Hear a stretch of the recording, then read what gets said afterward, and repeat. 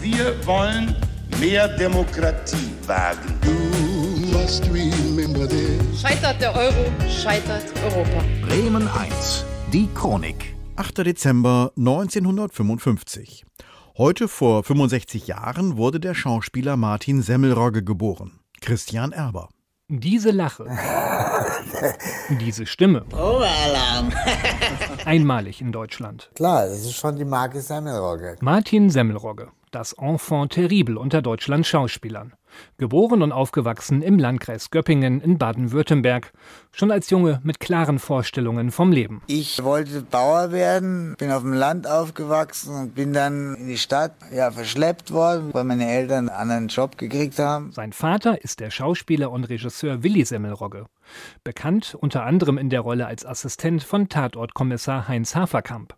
Das musste ja irgendwie abfärben. Dann hatte ich eine Chance, mal was vorzusprechen. Und mein Vater hat dann erkannt, der hat Talent, der Junge. Und dann hat er mich voll unterstützt. Mit seinen leuchtend roten Haaren fällt Martin Semmelrogge schon als Jugendlicher auf dem Bildschirm auf. Zum Beispiel als Vatermörder in der Fernsehserie Der Kommissar.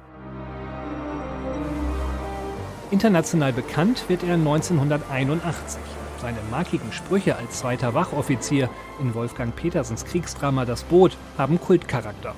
Zum Beispiel, als er Kriegsreporter Herbert Grönemeyer die Gefahren des Tauchens verdeutlicht. Irgendwann ist natürlich Schluss. Ist klar. Hält der Druck aber nicht mehr. Dann wird das Boot vom Wasserdruck zerquetscht. Das Boot wird für Semmelrogge zum Karrierebooster, der ihn kurzzeitig sogar nach Hollywood führt. In Schindlers Liste spielt er eine kleine Rolle als SS-Offizier. Doch auf den Aufstieg folgt ein ebenso rasanter Abstieg. Achterbahn bin ich in meinem Leben schon genug gefahren.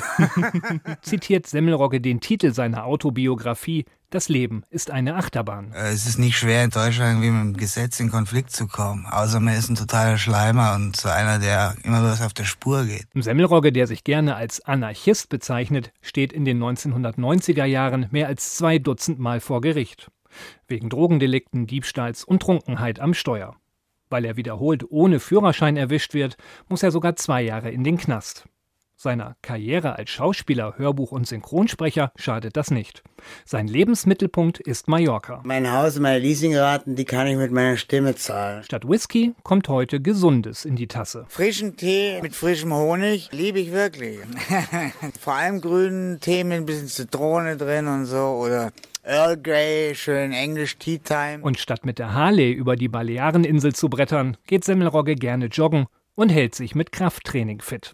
Ganz nach dem Motto: Life is too short and too precious to um, waste time, sage ich immer. Geboren wurde Martin Semmelrogge heute vor genau 65 Jahren.